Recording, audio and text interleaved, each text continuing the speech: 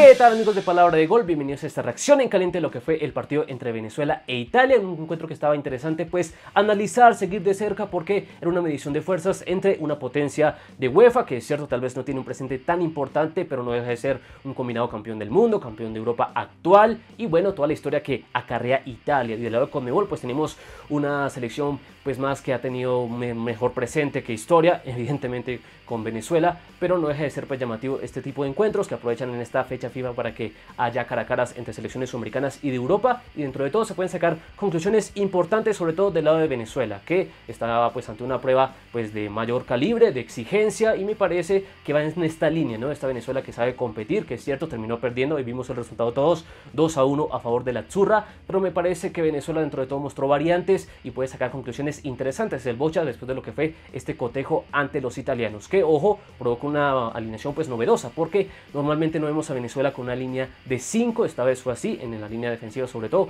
pues ahí tenía pues en la zona central a Wilker Ángel, también a Ferraresi y también a Jordan Osorio, y luego como carrileros tenía por izquierda a Navarro y por derecha a Aramburu, que ojo que estaba debutando como titular en la Minotinta, me parece que lo hizo bastante bien, entonces me parece que ese planteamiento ayudó a que Venezuela pues tuviera pues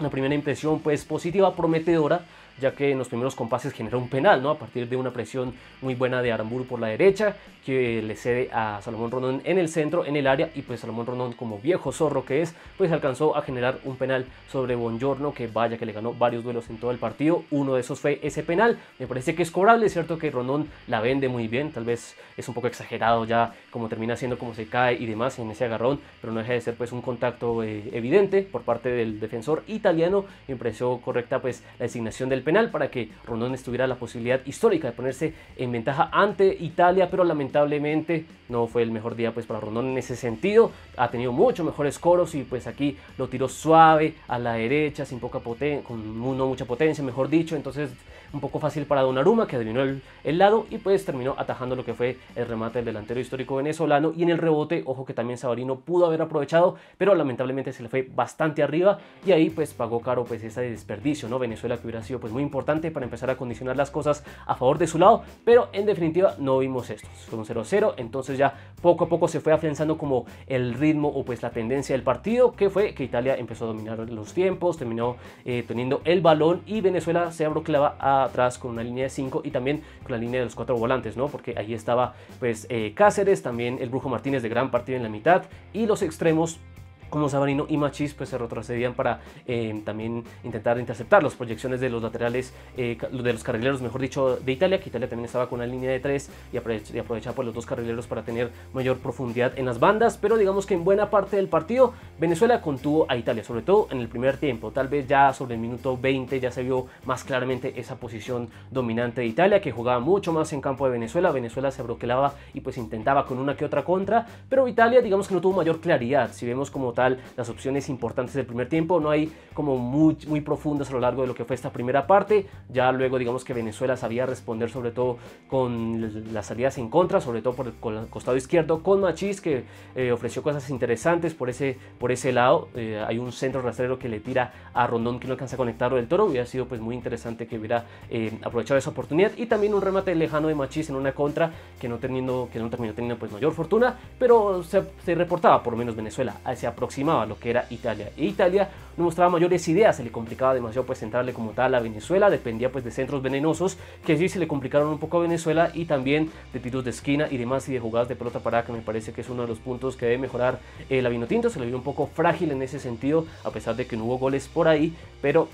era evidente cómo ganaba fácilmente los duelos pues, los jugadores italianos, entonces también un detalle a remarcar por parte de la Tinto. Y este como trámite bloqueado donde ninguno de los dos tenía mayor claridad se mantuvo hasta a puertas de que acabara el primer tiempo, porque ahí tuvimos pues los dos errores que en definitiva marcaron los dos primeros goles iniciales, primero pues una salida un poco... Eh,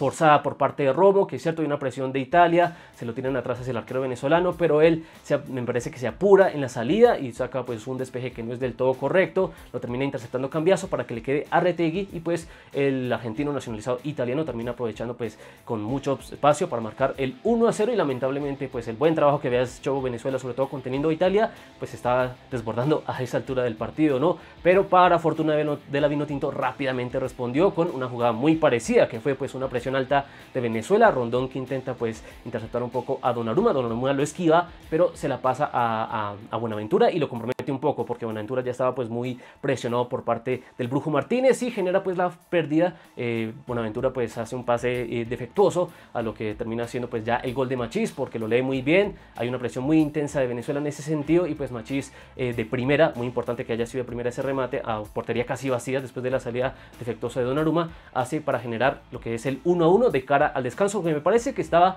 dentro de todo bien, porque si bien Italia si bien había tenido pues más la pelota, había pues eh, tenido mayores intenciones para buscar el partido, no había sido del todo claro y Venezuela había tenido una que otra contra y había tenido lo del penal, entonces estaba justo ese empate hasta ahí. Luego en el segundo tiempo pues inicialmente, inicialmente pues vemos una vino tinto que se mantiene pues en esa propuesta de abroquelarse, de estar atrás y sobre todo contener los ataques de Italia que estaba que buscaba, que buscaba, buscaba y me parece que hay como una especie de inicio que se bloquean todos, ¿no? Digamos que no hay, no hay, parte, no hay mayor claridad por parte de los dos, eh, tanto Venezuela no puede generar más a pesar de que hay unos buenos movimientos de Salomón Rondón en algunos cruces, en algunos lances donde pues pudo haber producido algo mejor, alguna contra que eh, generaba el delantero venezolano pero no tuvo mayor fortuna y también Italia pues exhibía pocas ideas, ¿no? De cara a lo que ya había sido pues eh,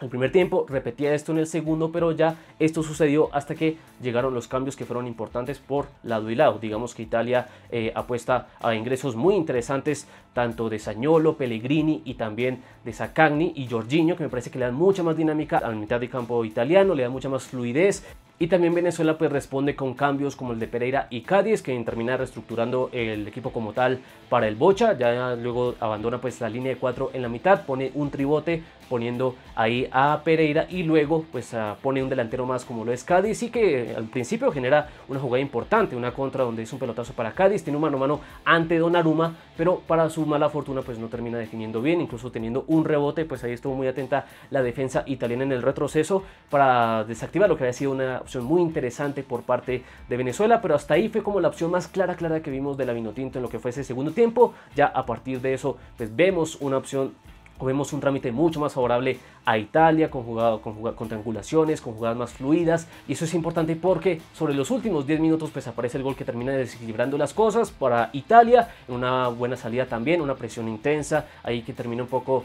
eh, generando un mal despeje de Venezuela. Italia recupera bien alto ese balón y genera una secuencia de pases donde Jorginho ve muy claramente a Retegui, lo deja solo en el área y pues el delantero termina facturando para poner el 2 a 1 y que termina siendo pues la diferencia como tal de este partido, donde me parece que ya a partir de los cambios pues, vimos esa diferencia de jerarquía, esa, pues, esas mayores variantes en definitiva que tiene eh, en mayor medida eh, Italia, que pues, se ajustó, se reajustó bien al partido, lo replantó de mejor forma Spalletti, pero ya del lado del Bocha Batista pues vimos como eh, al sacar sus hombres claves también, como lo fue la salida del el Brujo Martínez y también de Wilker Ángel, pues ahí perdió un poco de equilibrio y de solidez defensiva, entonces Venezuela también al final intentó como pudo, tal vez con el ingreso de Rómulo Otero que le dio un poco más de ideas al ataque venezolano ya sobre el final, pero no tuvo mayor oportunidad, no tuvo pues mayor tiempo para generar opciones claras como tal, ya Italia estaba demasiado cómodo con ese U2 a 1 y pues Venezuela no lamentablemente pues no pudo generar esa jugada que hubiera equilibrado definitivamente las cosas para este partido, entonces acabó con un 2 a 1 para eh, la Zurra, como se esperaba, era la favorita en este partido por historia y tal vez un poco por jugadores, entonces aquí se termina corroborando pues ese favoritismo de Italia, pero se esperaba tal vez que Venezuela en esta línea de confianza que le estaba generando todo esto de mano, tengo fe y demás y los resultados buenos que venía cosechando en la eliminatoria se esperaba que pudiera pues tal vez sorprender a esta Zurra, entonces vimos este cotejo que dejó cosas interesantes para que la Vintinto pruebe de cara al futuro, entonces aquí esta reacción en caliente, ahora les toca a ustedes opinar qué tal vieron a la Vinotinto, qué tal vieron a Italia, cómo vieron este partido y también qué esperan de lo que será pues la actividad de las demás selecciones de Conmebol. Ahí los estaremos leyendo en los comentarios. Y como siempre, recuerden que aquí adoramos el balón. Están en Palabra de Gol.